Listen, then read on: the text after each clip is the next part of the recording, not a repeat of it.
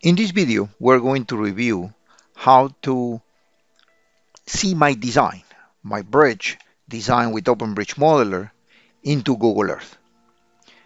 In this particular file, I already have the bridge modeled with OpenBridge Modeler in a raster image as a reference. I also have the aerial map of the location right? And as the DTM as well, I just uh, modify using the override symbology, modify its display. Okay, so now I'm ready to see my entire design in Google Earth. For that, as you can see, the coordinates being displayed for my design are in XYZ format.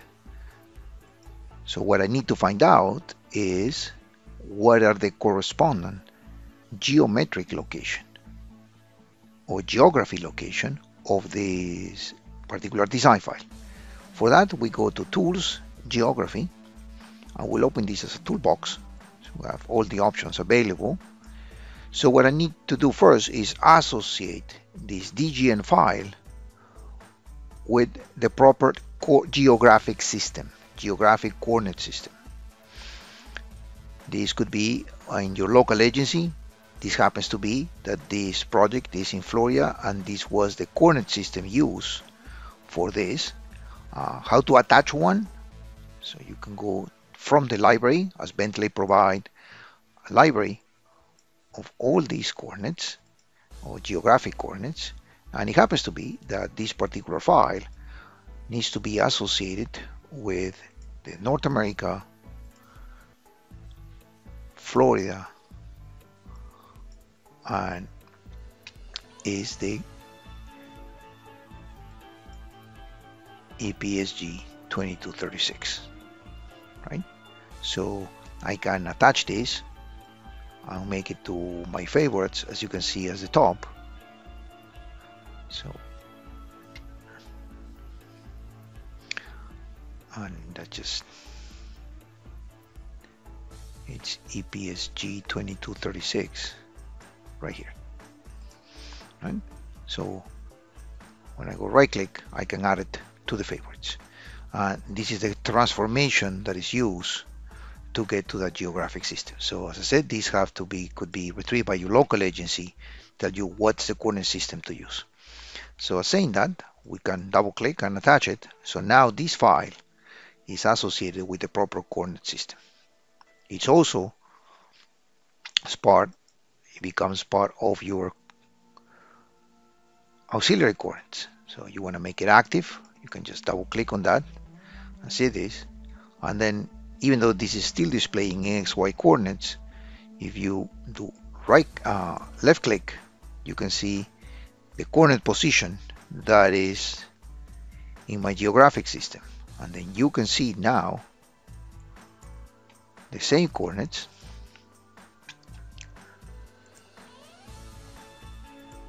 and make it active here and the same coordinates you can see it now in this view look in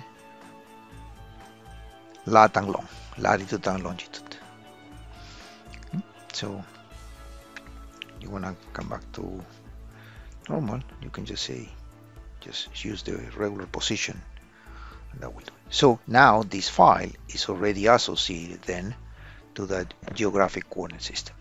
So the next step is as simple as export that view to Google Earth. So what is going to do, as I left click, it's going to create a KMZ file so Google Earth can read it. I just save it. And if I have Google Earth in my computer, as I have it right now, it will launch automatically Google Earth and display my bridge.